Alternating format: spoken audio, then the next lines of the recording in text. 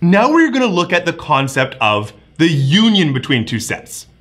And this is defined to be all values x such that x is in one of two different sets. Either the x is inside of an A set or the x is inside of a B set. And I can see this visually by looking at two different sets. I've got an A and I've got a B, and that perhaps they overlap or perhaps they don't overlap. I've drawn them in a way they overlap, we don't know. And then the union is just gonna be everything. It's, it's every element that's in one or the other, or I'm allowing under this construction both. Now, you'll notice that in the definition of the union, that right up here I put an or statement. So the union is sort of analogous in the world of sets to the disjunctive or statement that we have in the idea of logic. Indeed, if we think about union as being some x's such that they obey some property, that property is a disjunctive. It's an or statement. It's either in the one or in the other. So then if we focus on a specific example, like here's an A and a B, and notice these are different A and Bs than the ones from the previous example, but the A appears to be n equal to 2p, so that's all of the even integers, when p is an integer.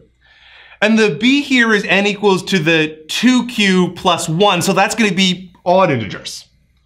So I've got the even integers as A, I've got the odd integers as B, and the question is, what is A union B?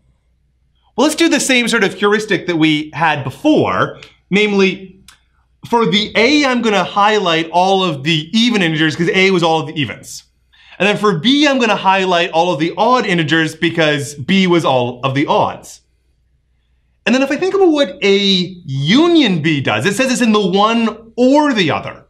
So I want to look at and highlight all of the ones that are in either the A or the B, but, but this is everything all of the evens are highlighted here, all of the odds are highlighted here, so everything gets highlighted in the union. So in other words, A union B, I think we can think of, is supposed to be all integers. Every integer is going to be highlighted.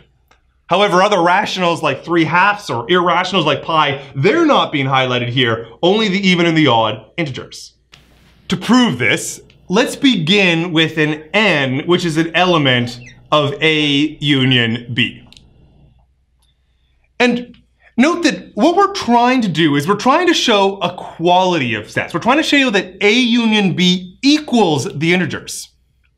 Which, if you think about what equality of sets means, it's, it's actually two different claims tied together. I want to show that A union B is included in the integers, as in A union B is a subset of the integers. And I want to show that the integers are a subset of A union B. That's what it means to make them equal, is to say that anything in the one is in the other, and anything in the other is in the one. So what I'm gonna do here is I'm gonna make sure that every statement I write down is if and only if, that it works both directions. And that means that I'm able to take an element in A union B and show it's in the integers, or I can take an element in the integers and show it's in A union B. That's what tells me that I have equality. So n in the A union B, I'm going to write a biconditional arrow, which means it goes both directions in my implications. So n is an element of A union B is by definition the same thing as saying that n is an element of A or n is an element of B. So I've taken my initial assumption here and I've rewritten it based on what A union B is going to be. And then I'm gonna write a biconditional arrow again. I'm gonna apply the definitions of both A and B at the same time. So this is saying that N is even or N is odd. Now, one crucial fact about the integers here is that being an integer is equivalent to being either even or odd. And so this property n is even or n is odd is by quoting a previous result about the integers is the same thing as saying that n is an integer.